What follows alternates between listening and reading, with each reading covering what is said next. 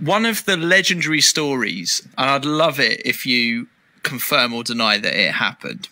And it's James Beattie. He's played uh, away at Arsenal and played, and you're not happy. But it ends with you coming out the shower in a towel. You headbutt James Beattie after he punches you or something like that, and then your towel falls off and you're there scrapping completely naked. Is that true story? no, the um, uh, we played well that day. Actually, lost the game, but played really well, and Beattie played well, and, and there was no problems with um, his performance. Um, there was an argument and uh, uh, a disagreement over whether they were going to have one night or two nights in London. Um, and there was a, a, little fracas, but we were fine afterwards.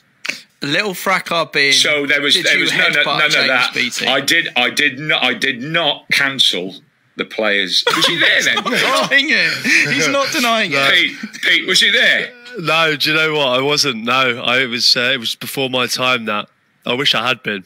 So just to be clear, did James? We never cancelled the party. no. We didn't. We, we didn't. We didn't cancel the party, and we certainly wow. didn't. I was. I, I didn't have the ump with Beattie because he played badly. Wow. Did the towel fall off?